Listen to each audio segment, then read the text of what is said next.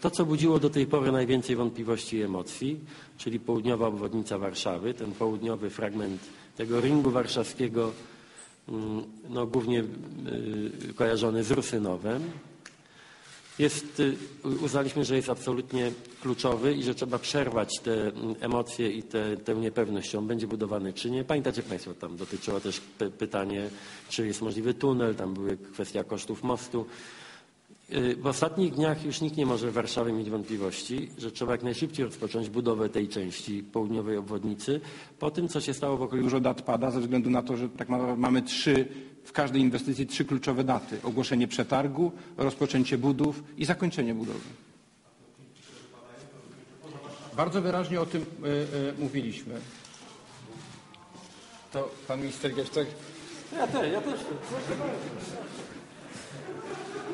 Mówimy o tym, y, to jest nowy wlot, planowany nowy wlot y, do Warszawy od strony południa, czyli od Grójca, po dzisiejszym przebiegu od Grójca miała odchodzić droga S7 do węzła lotnisko.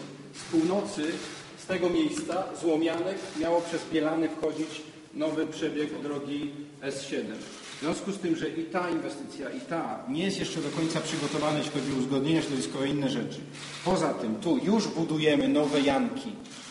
W związku z tym południe, wlot, komfortowy wlot od południa jest zabezpieczony dzięki tej inwestycji. W związku z tym tą możemy spokojnie odsunąć o parę lat.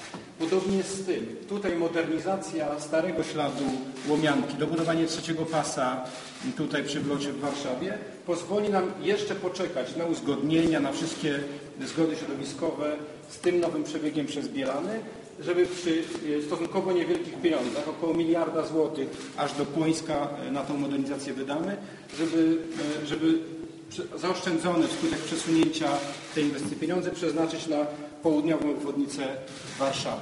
7 miliardów, tak 2,1 miliarda. Pan redaktor pytał, które wypadają w ogóle. Żadne nie wypada. Bo ja wiem, że apetyt jest na to, żeby powiedzieć, że wypadają, jak znamy temperament pana redaktora, ale wydaje się, że dość precyzyjnie staramy się powiedzieć, że nie jest to kosztem eliminacji projektów, tylko przesunięcia w czasie.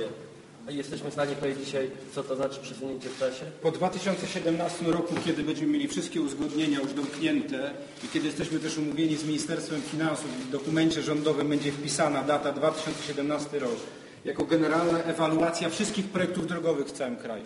Będziemy mieli oszczędności na przetargach. Ja nie wykluczam, że część będzie zaskarżona, więc wypadnie z realizacji jakieś niewielkie inne fragmenty. Wtedy będziemy mogli spojrzeć na całość mapy i powiedzieć, tak, wracamy do projektu S7 tu, tu e, i w innych miejscach y, na mapie całego kraju. Witamy